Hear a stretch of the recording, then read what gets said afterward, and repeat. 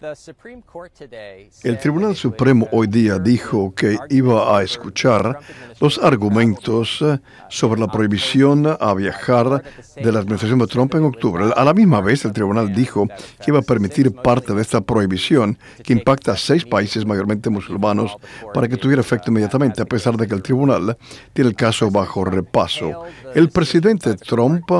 alabó la decisión del tribunal eh, en el último día de su término como una victoria importante, pero los abogados de inmigración han dicho que es bastante limitada porque la prohibición, tal y como el tribunal le permite ser vigente, no es aplicable a tantas personas. Una de las cosas que dijo el tribunal fue que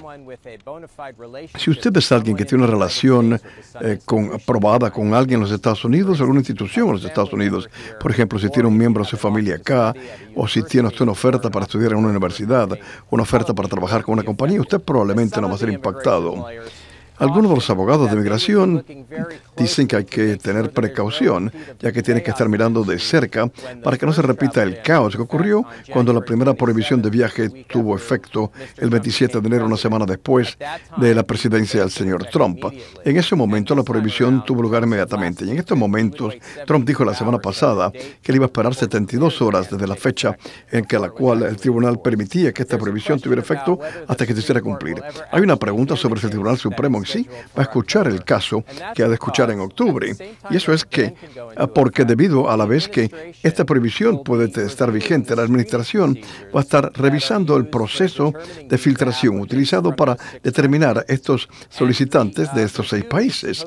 Y el repaso supuestamente ha de ser hecho y la prohibición de 90 días ah, ha de acabarse antes de octubre, que quiere decir que cuando el tribunal tenga ya la fecha para escuchar los argumentos, la prohibición actual, la política actual no va a estar vigente y en este momento no se sabe si va a ser reemplazado por una política nueva aplicable a más otros países o permanente o ambos. Y probablemente lo que reemplace la prohibición de viaje actual en sí será el eh, desafiada por los tribunales.